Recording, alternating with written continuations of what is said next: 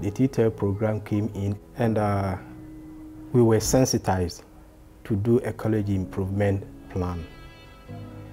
We made a self-assessment and uh, we realized that we fell short in so many areas.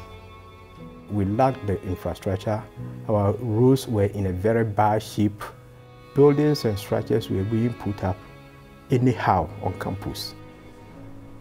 We set out six objectives in our college improvement plan to regulate our activities in the college.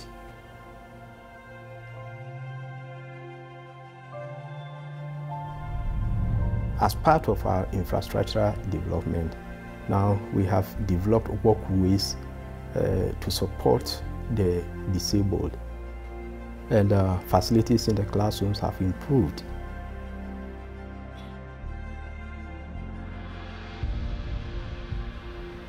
The college is growing. We are going to admit more students. So we decided to draw a layout for the college so that it will guide us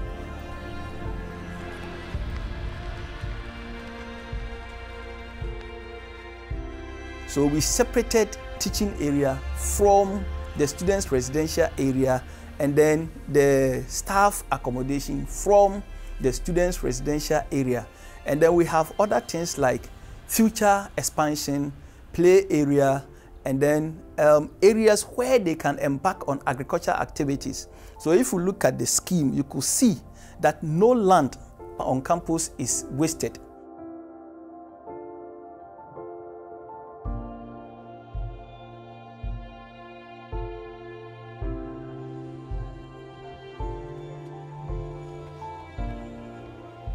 I have the timetable of all the classes.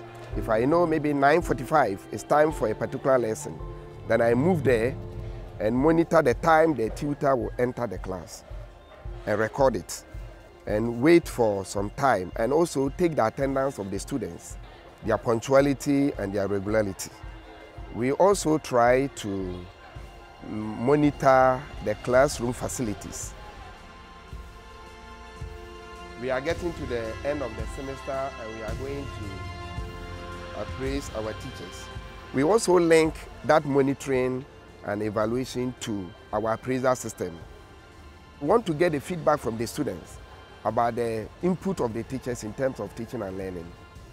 We can use our phone, mobile phones, and also some are also given the opportunity to use the laptops or the computer. It's a good system. It helps students to express their feelings towards the teachers they express their feelings very easily without thinking that they will get any punishment from the teacher or whatsoever. And then we write a report on it and give it to individual teachers about what the students are saying about that teacher in terms of the strengths of his or her teaching and the weaknesses. With these instruments and the reports, the feedback that I have from them, uh, I have an idea about what is happening in the classroom.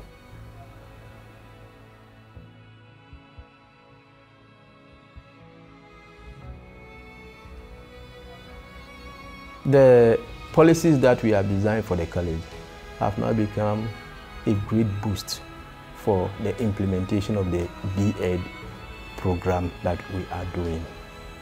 Uh, it is helping a lot and uh, uh, it will guide us and regulate our activities